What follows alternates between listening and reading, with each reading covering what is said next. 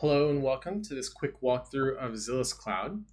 Zilliz Cloud is a purpose-built cloud-native vector database that stores, indexes, and searches for billions of embedding vectors to power enterprise-grade similarity search, recommender systems, anomaly detection, and more.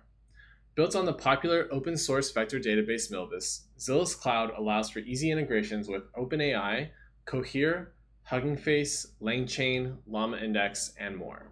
So let's get started.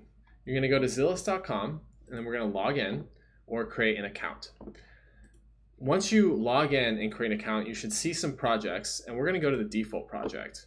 Once we go into the project, we'll see a series of steps provided by Zilliz Cloud on how to get started quickly. So the first thing we're going to do is we're going to create a database. When you're creating a database, you can name your database something such as ASDF and use a cloud provider such as AWS, Google Cloud, or Azure, and, which is coming. And then we're going to go to the bottom and we're going to give a password to our database admin.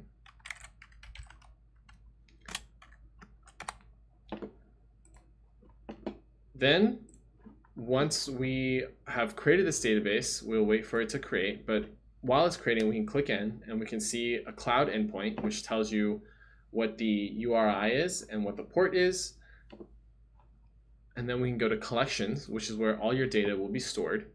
And you can either upload your own data, but for this example, we're going to use example data. This example data is a set of Medium articles where the title of the Medium articles have been turned into vector embeddings. And we're going to show how vector search works in Zilliz Cloud using the title embeddings of these articles. And I'm just going to pause right here while the articles load. Great, now that our collection is loaded, we can click into it to learn more about it. From here, we see the collection details page where we can click import now to either upload a JSON file or import a file from S3. And we can also see the index that we are using, which is the title vector. And we can see that we're using the L2 metric for our index. Now let's look at our schema. In, in this case, we can see that this example data has eight fields, then an ID, the title vector, the title itself, the link to the article, the reading time, the publication, the amount of claps it has, and the responses that it got. Now let's take a look at our data. We're going to see the ID here, the title vector here, which is a really long vector, 768 dimensions.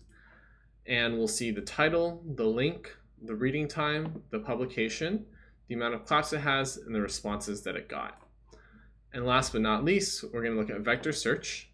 And so I'm not going to input a 768 dimensional vector here. What I'm going to do is I'm going to go into data preview, and I'm actually going to search based off of the title vector here. So we're going to search for using a Golang pattern to write better TypeScript. And I'm only going to look for the top five and we'll see that it returns these five articles using a Golang pattern to write better TypeScript, using TypeScript with MongoDB, running a Jupyter Notebook in VS Code. You should try the new TensorFlow thing and how to debug in Xcode. Now, finally, we can also look at narrowing down our search to only articles that were published in Towards Data Science. So see here, and you'll see that these five articles are slightly different um, and they're all published in Towards Data Science. And that's it. Thanks for watching. I hope this was helpful.